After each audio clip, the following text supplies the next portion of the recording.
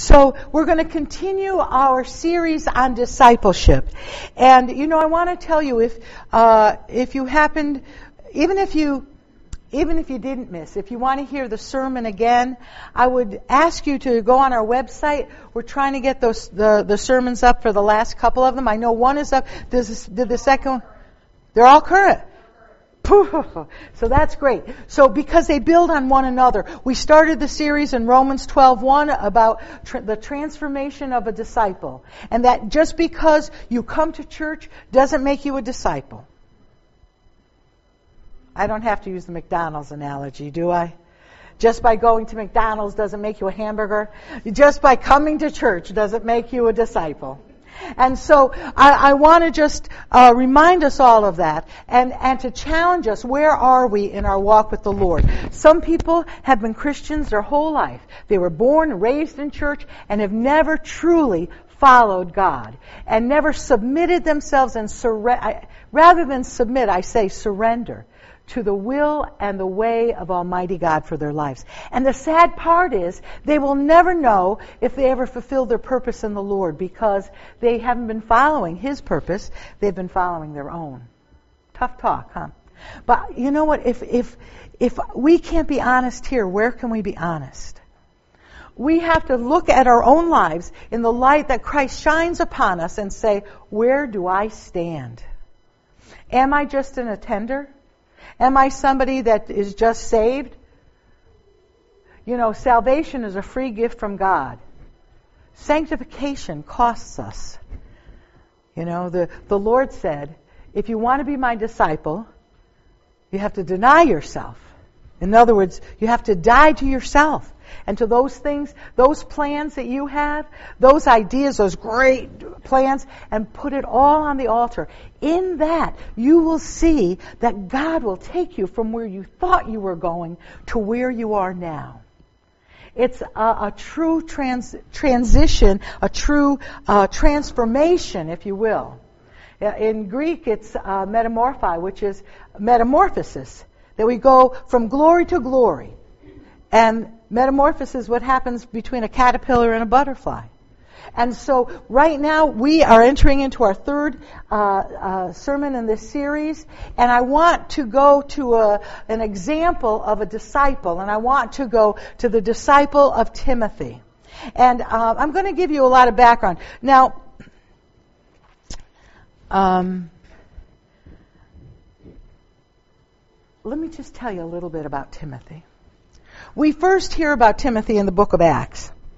And uh, we find that Timothy uh, is there on Paul's first missionary uh, uh journey uh, in the city of Lystra. And Timothy's very unique in the scriptures. Timothy's grandmother, um, Timothy's grandmother and mo- his mother uh, was um, Eunice, and his grandmother was, oh my goodness, this is, what is that? Oh, you forgot. oh, wait a minute, I got it, I got it, I got it, I got it someplace. I, what is that? Uh, no, it was it was Eunice, and Eunice was his mother. Anyway, I'll, I'll, it'll come to me by the end of this thing. So, um, so Eunice was his mother, and his grandmother, Lois, was his grandmother. Eunice was his mother. I, it takes a while, but it comes in, you know. Um, they were devout believers in the Lord. They were saved when they heard about, about the message of Jesus Christ, His death and resurrection, and the great salvation that He brings. Paul, on his first missionary journey, he finds uh, this family, and they are open and willing, and they raise uh, their heads and accept the Lord Jesus, and, and they are strong. Timothy sees the faith of his grandmother and his mother, and there is just a call in his heart. Nothing's going to hold him back. And he becomes a devout follower of the Lord Jesus on Paul's first missionary journey. And in that time, he becomes, he hears what the Lord has taught, and he puts it immediately into, act, into action. He didn't have somebody constantly with him, although there were leaders, but he knew that what he heard was the truth. And that, you know, the scriptures teach that the Holy Spirit will teach us all things. When I was in the convent, the Holy Spirit taught me about salvation and about knowing Jesus as my Lord and Savior. I certainly had no teacher there telling me about it, but I had heard the word on that very strange Wednesday night service when I wandered into a Pentecostal church and I heard the story that we're saved by grace and, and never thought of it again until that time in the scriptures when I found that old Bible that that pastor challenged me to take and I heard and I read and the Holy Spirit began to quicken my heart. And there were things that happened while I was in the convent where I was getting rid of dogma and doctrine that what didn't didn't fit what I was reading. And, and here I am. I'm wearing a habit, for goodness sakes. And, but things are happening in my head that I know are true. And that's what happened to Timothy. His background is his mother and his grandmother were Jewish. He was, he was, uh, and his father was Greek. So his father was pagan. Interesting. So the next missionary journey that ha- comes by, Paul comes by, and he finds Timothy, this devout young man. And Paul sees something in him that the Lord will use. He sees his heart. Uh, so today, where's our heart? If Paul walked in, would he say to you, uh, "Come, I want to, I want you to be truly a fisher of men"? Uh, would would Paul see something in us that would give him a glimmer of hope? Some things happened at the very beginning in Timothy's life. You know, if you read, and you know, I want to just say as a little uh, as a little announcement and an advertisement, uh, we're going to start Bible study up in a little while, in a few weeks. Um, maybe in February. Not, I don't think I can do it in January, but starting perhaps in the beginning of February. And we're gonna we're gonna get into uh, the pastoral epistles, which are First and Second Timothy, uh, Titus, um, uh, and uh, I believe uh, both Thessalonians. So, uh, but so we're not going to talk much about doctrine in the books of Timothy today. I want to talk about the person of Timothy. So, Timothy has built up a reputation in his community and around uh, that area that he is that he is a Christian in every sense of the word. word. He loved people. He was kind to people.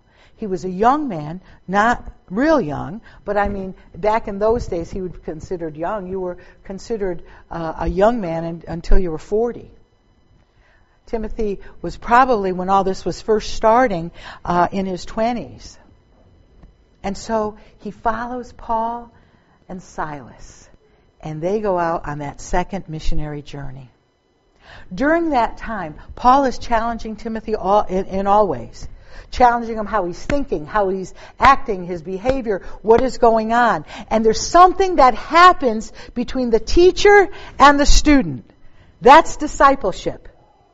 What happens with Timothy and Paul is that there's a true discipleship. Now, Timothy is a disciple of Jesus, but he looks at Paul, for example, he looks at Paul for what is, what is uh, most important in his walk.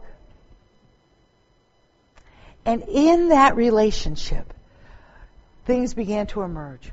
Do you know Timothy uh, was just was never circumcised because his father was pagan and his mother never pushed the, the situation. Paul says to Timothy, "I think you should get circumcised." He's a grown man, and Timothy says, "Okay." Now, he didn't ask why. He didn't say, "Well, maybe." Uh, is there a doctor in the house? No, Paul did it himself. Whoa. yeah, you're right, Nellie. Whoa.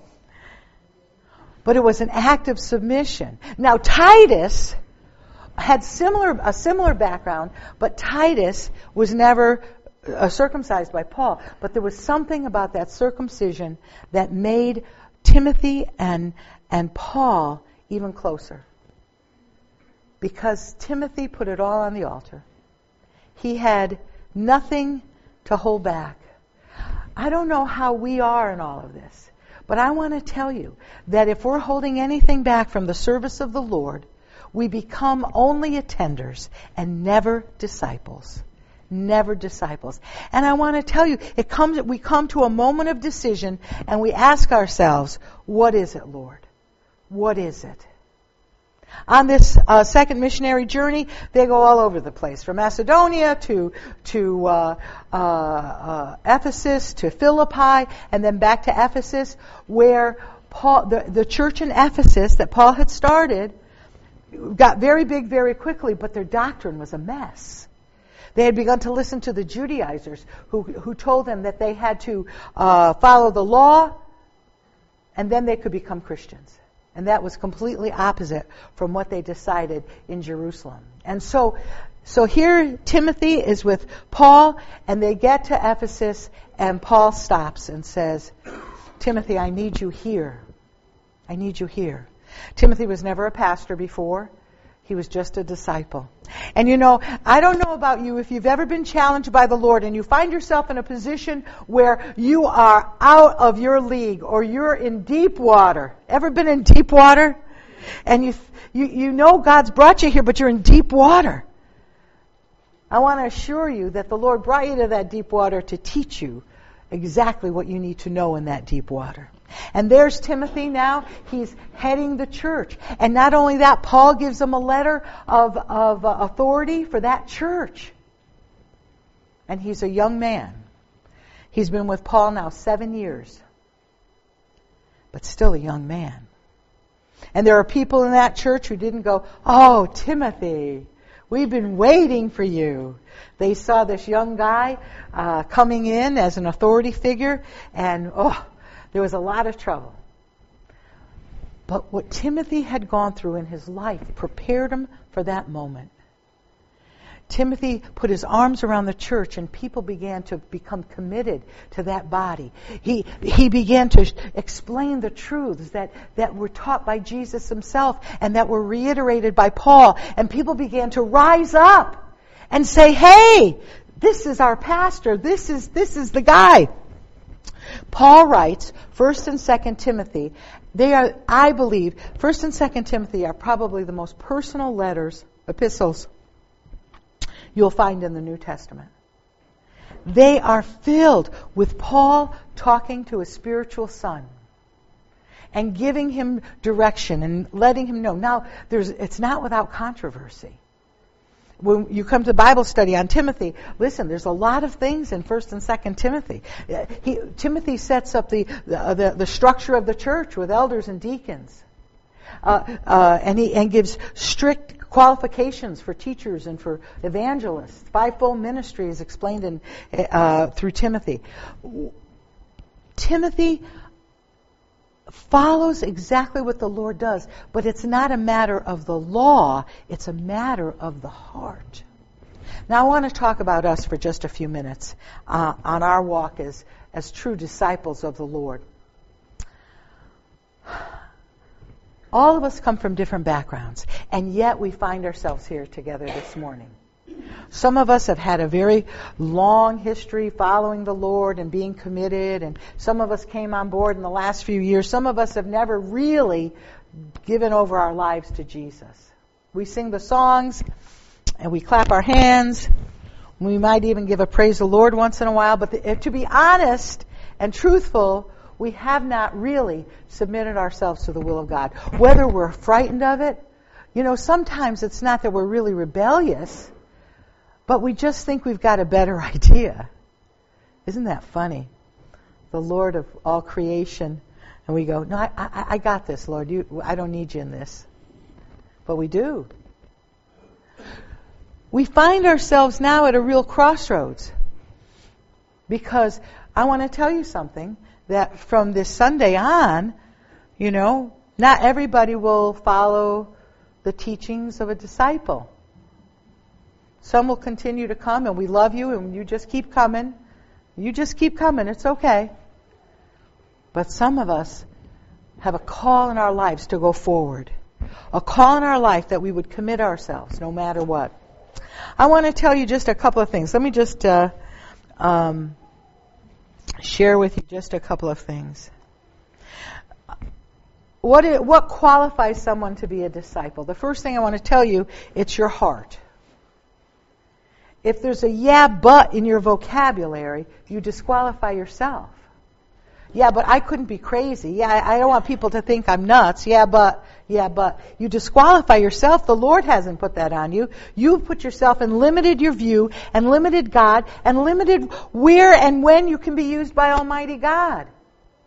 See, a disciple, there's no limit. Timothy had never pastored a church. I never thought I was going to pastor a church. And here I stand. So when we come in uh, to say truly in our hearts, Lord, I want to be your disciples, what does Jesus say? He says, you got to leave all those things to me. Remember last week we talked about the person that he says, the Lord says, you know, if you don't hate your mother and father and sister and brother and kids, then you're not worthy to be my disciples. And what he was saying, that nothing can be above your relationship with him. That's the truth. I, I can't water it down. I can't say, well, if you're 75% committed, you're okay. No. Listen, the scripture is the scripture. And the scripture says that you have to be willing to put God first. That's our heart. That we would put God first. Now, do we fall and make, make mistakes and do we choose, still choose sometimes to follow our own ways? Yes, but you know what? We recognize that that's not how it's supposed to be. And so we, we repent, we come back into a relationship to the Lord, and we move on going forward to that discipleship. We all fall short, but it's settled in our heart that we want to have God as our number one.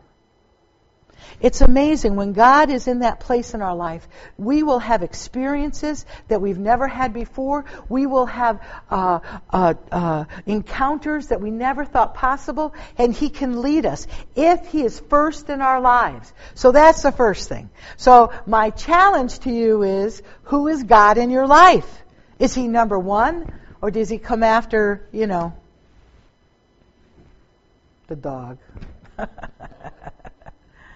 Where is God in your life? I am the Lord thy God. Have no other gods before me. God has to be number one before we do anything. If you want to be a disciple. If you want to be an attender, we love you. Have a cup of coffee, relax. But if you want to be a disciple, I have to tell you, God must be number one. In your work, in your family, in your relationship, no matter when you face a challenge, no matter if you're going through a, a, a difficult uh, uh, time in your life, God still has to be number one. The second thing I want to tell you is that um, that our heart must be His, our mind must be His.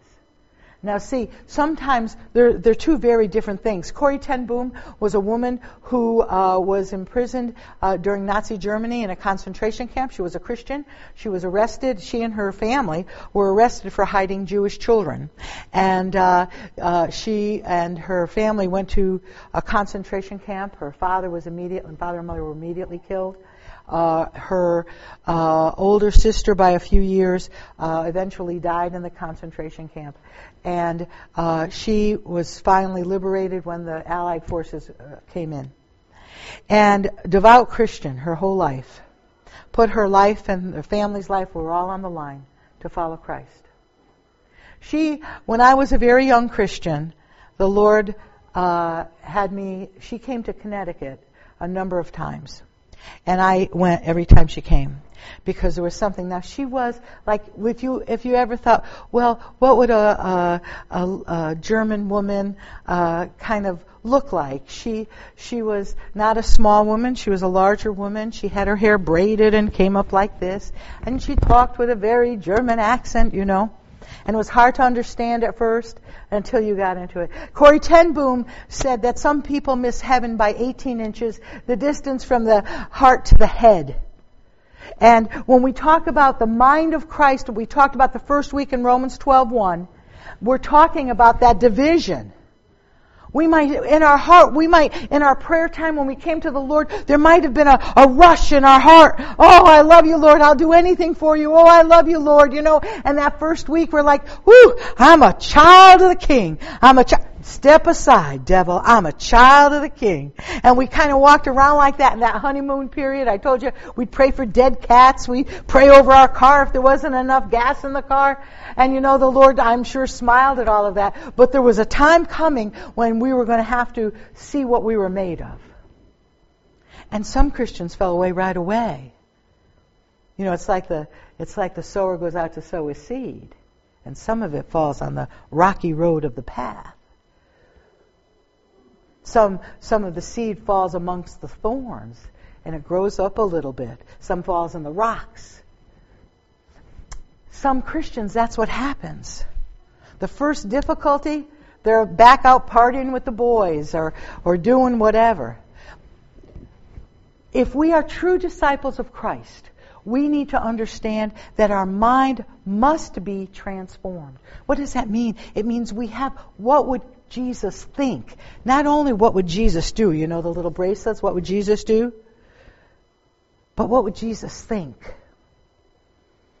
Somebody sent me a, um, a thing on Facebook about a pastor who recently ended up having to get divorced, and I don't really know the whole story, but uh, the pastor was on and trying to, you know, talk about his situation and defending kind of his, his situation. And my heart broke because I, I, could feel the pain in his heart. I could sense the sorrow in his soul that he's going through this divorce. But I want to tell you, and I, and I was very, it was very important for me to stop watching this video and and close my eyes and start to pray for that guy and his ex-wife. I am not, I am telling you that the mind of Christ breaks for people who are in sin especially those that have been walking with him and they fall short. They, they fall off uh, this relationship. How can the Lord trust us if we're falling every single time? There has to be a discipline in our lives to become a disciple. And the discipline comes and says, I am going to think as Christ. Now, there's a lot of times when people do things to us, they say things to us, they say things about us, they judge us. But the Lord says, don't be like one of those. What does that mean? That means that we hold our judgments. We pray for those. Listen, if, if I say something today, and maybe you already have, that you don't like and you're mad at me, understand that. I understand. Want to talk to me about it? Sure. But more important than talking to me about it, I want you to pray for me. If I'm in error, I want you to pray for me. And don't you want me to pray for you if you're in error? Not be judging, not being exposing you, not saying, oh, well. Our mind, we have to begin to think like Christ. You know, the scriptures teach that we're surrounded by a great cloud of witnesses. It's almost as if they were running a marathon race. And you know, in that marathon race, and when that runner runs into the stadium after he's already run 24.5, is it, miles? 20, I don't know exactly who, I would never know that exactly. But thank you so much, Jenica. Oh, Mike knows. Mike knows. So as they're running back into that stadium, everybody's on their feet. Everybody's exhausted. How could you run 26.2 miles and not be exhausted? I'd be crying. Ah, one more step, Lord. One more step. But the people are standing up cheering. Come on. You can do it. You're there. Keep going. Don't you stop. Remember last week we showed the, we showed the film from, uh, the clip from, uh, uh, facing the giants, right? With the, with the coach encouraging the young man, come on, five more steps, four more steps, come on. I want to tell you, that's the cloud of witnesses. That's what's going on in heaven. Every single time we face a decision, every single time we feel like we, we don't have the, the heart to go on, every single time that we fall and we're trying to get up, they're saying, come on, get back up, come on. And not only them, the Lord Himself is like, come on, I, I got your hand, Vicky, come on, get up, get up, don't wallow in that mud for another second. Get up, you're my child. That's a disciple. Not that they don't fall but they understand that there's a support to bring them back up, and they keep going. Some of us are facing difficulty this, this day. This week is going to be rough. This month is going to be rough. Whatever. I want to tell you, we keep going. Disciples keep going. They keep going. They have already, in their mind and in their heart, paid the cost. They said, no matter what, I will keep going with you, Lord. You are in the top spot. You are in the first position. You have my heart. You have my mind. I'm not going to be thinking about all this baloney that people are saying about me. I'm not going to worry what this one is thinking about me. I'm going to do what's right.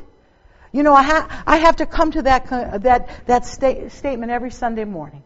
Lord, no matter what, no matter if people walk out on me, no matter what, I've got to preach your word. That's what you called me to do. And let me tell you something, whether you're behind this pulpit or out uh, on the workforce, that's exactly what you're called to do too.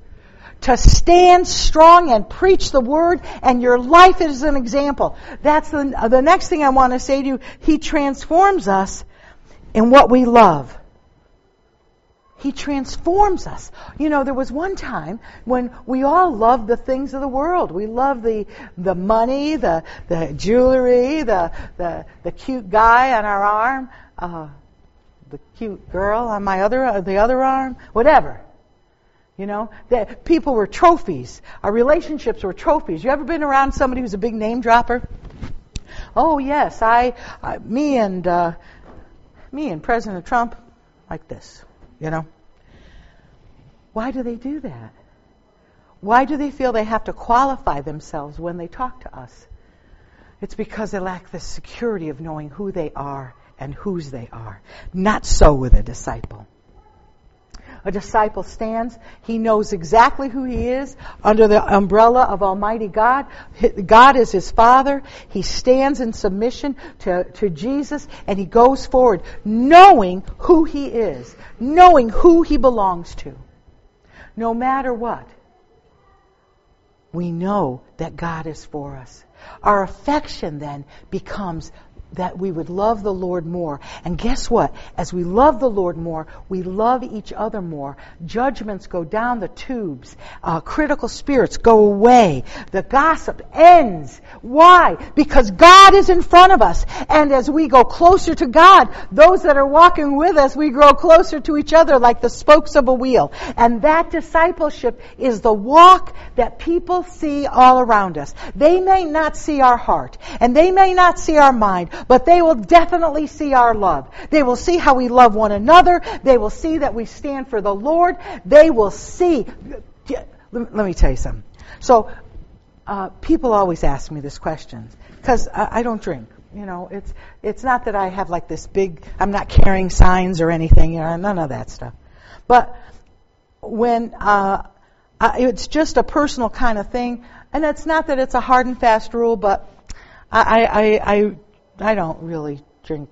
I mean, I not to. I don't. I don't think that I can't remember the last time I had a glass of wine. But my point is this: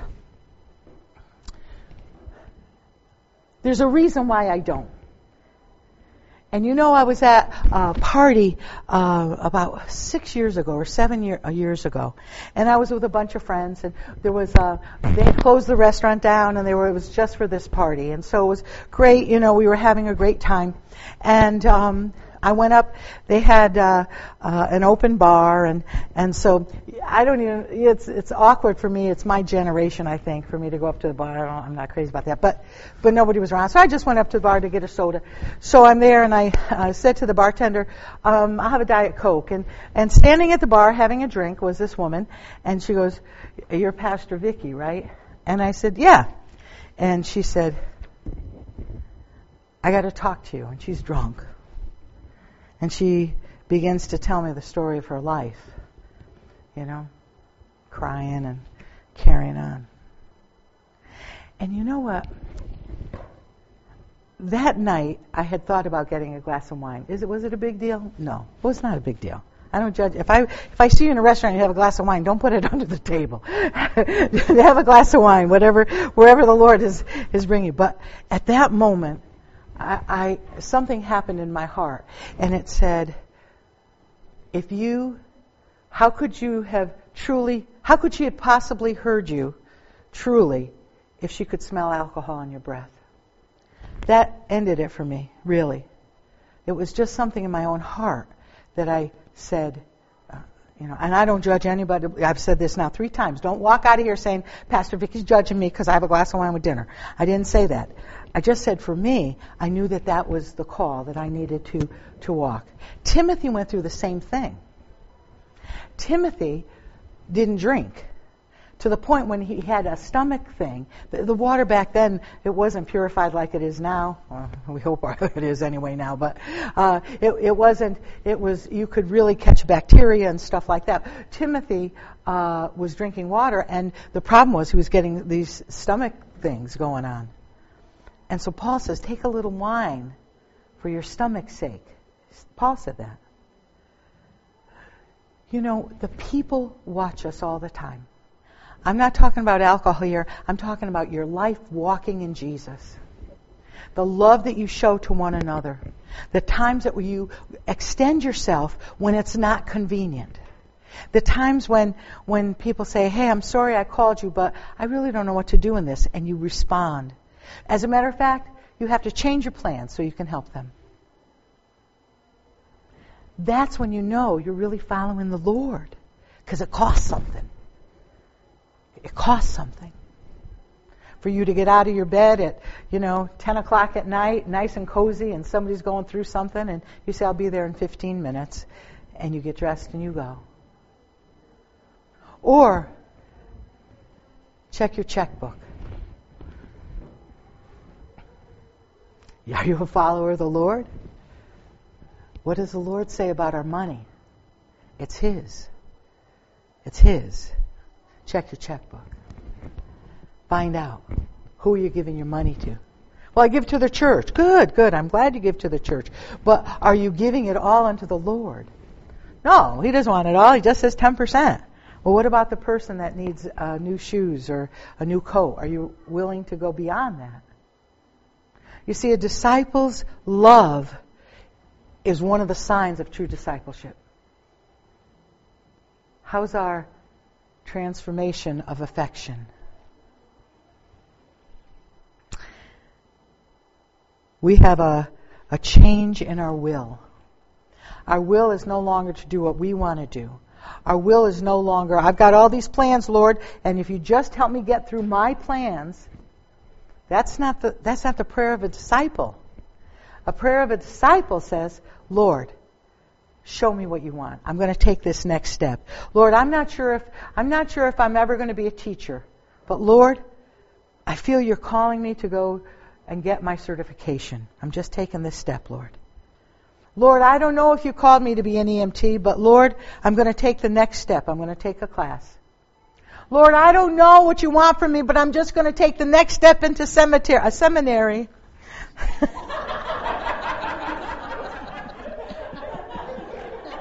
I don't know, Lord. I'm just taking the next step.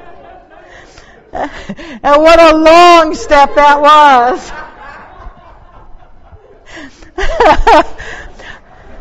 Hey, I want to tell you something. I've invited uh, a young man, he's a lot younger than I am, uh, to come and share with us uh, at the end of the month on the 26th or whatever the last Sunday is. Paul Pace. He's a crazy man. Um, and uh, so I just want you to know we're going to have a visitor. He was with me in seminary, so, uh, and he was always the guy going, come on, come on, Vic, come on, we can do this. No, we can't. Yeah, yeah, we can do this. So you'll want to be here for it. Um, but the thing is, is that God just calls us. We don't have to see the whole road. We just take the next step. The next step that God has given us. I don't know where it's going to lead, but my will is not my own anymore. And I feel I'm supposed to take this step, so I'm going to do it. Lord, stop me. Put, put up roadblocks. But if you've called me to it, I'm going to go to it. And not that, not, I have to say this, it's sometimes it's not an easy road, even though God's called you to it. So all you do is you just take the next step. The only reason why I finished seminary was because he never released me out of seminary. It was like a sentence that you got, you know, I was standing before the judge, you know. No, you can't leave yet. Can I go now, God? No, you can't go now. And here I stand. So God will turn our affection, He will turn our will to His. In our relationships, and our purpose is no longer our purpose, but it's God's. Today, as we talked, you know what, uh, Daniel, would you pull up that, that uh, uh, call to worship that you had? And would you stand and read it again, please, and give us the reference? It's in 2 Timothy, I believe.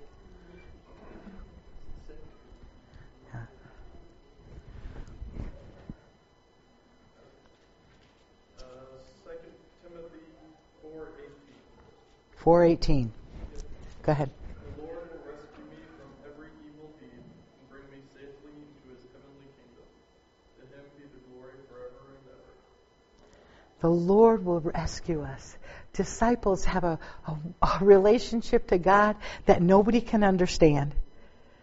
That you, we can go through things resting in His arms, being carried by Him through difficulty, rejoicing in our sorrow, rejoicing when things are good. There is a relationship there that we have never experienced until we settle in our heart that we are disciples of Almighty God. He will rescue us. He will cover us. He will keep us under the pinion of His wing. And He will be with us through every victory. And we're not done yet. Next week we'll close up our discussion on, on being a disciple. But I challenge you this week. My points, let me re, re, uh, restate them just quickly. He wants our heart. He wants our mind. He wants our loves, our affections, our the things that that that make us love one another. He wants our will, and he deserves our purpose. So this week, Let's continue to search God's will. Let's get closer to Him. Keep praying for the church. Keep spending time with Him. And you know, can I tell you this? There were three things about Timothy that we have to remember for our own lives. First of all, Timothy uh, loved the Word of God sat under the teachings of Paul, and when Paul wasn't there the fir- after the first missionary journey, he sat under the teachings of his mother and his grandmother, who told him all about the things of Jesus. He was a student of the Word. And they didn't have the written word. We, the, they estimate the, that the first and second Timothy was probably, they have two suggested, suggested times. One is between uh, 55 AD and uh, 50 and 55 AD and 65, 60 and 65 AD. They, they can't be sure because of Paul, uh, Paul's arrest and, and uh, uh, awaiting uh, death. But we know that, that the Lord has called us to walk in our own way, in our own path, rather, for discipleship. Timothy uh, loved the Word of God. The second thing is, he surrendered himself to the teachings of Paul. Paul and Timothy were like father and son. When you read 1st and 2nd Timothy, there is a relationship there that is so beautiful. My son, he calls him. My child, he calls him in places. He, there is that, and he, Timothy, sees Paul, sees Paul as his father in the Lord. Paul is in jail. He's going to die in the end of 2 Timothy, a short time a week or two after. And he sends this letter of Second Timothy to Timothy, and he says, Come and visit me. I long to see your face again. He said, When you come, bring my winter coat, because it was so cold in that prison, you know. Short time later, Timothy, uh, before Timothy could get there, he dies. See, that relationship between teacher and disciple is so critical. So critical. And finally, because of the person that God created him to be. Timothy's mother was a Christian, uh, and it uh, was a Jew, and then a Christian.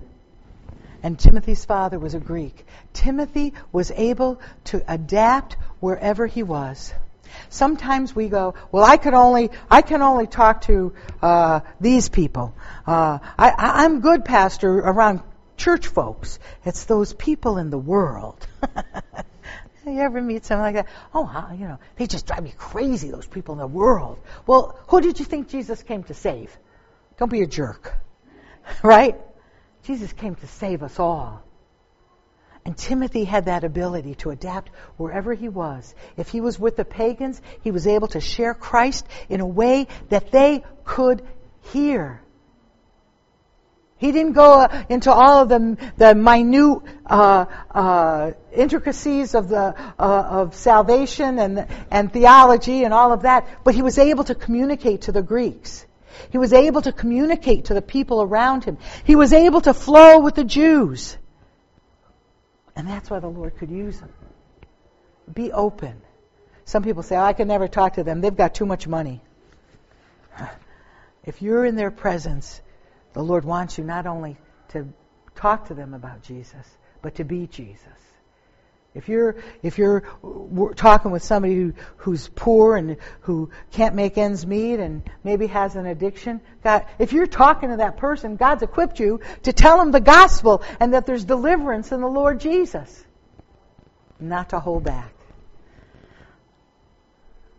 Not to hold back. Go with God. Let's all stand. So, Father, we come to you, Lord. We are at different points in our walk with you, Lord. But we're at the same point in that we want to be a disciple. So, Lord, once again, we put ourselves on the altar.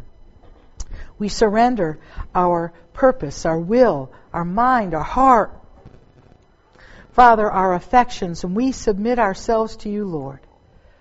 Lord, keep us, Lord, hold us. Lord, walk with us. And if we fall, Lord, encourage us to get up again and walk with you. Father, we love you this day. Father, I pray, Lord, that you would touch everyone in this place, that you would meet their needs, and that you would encourage their hearts, Lord, and they would know how much you love them. And Father, we pray, Lord, that you would guide our path. In Jesus' name we pray. Amen. Amen. God bless you, everybody.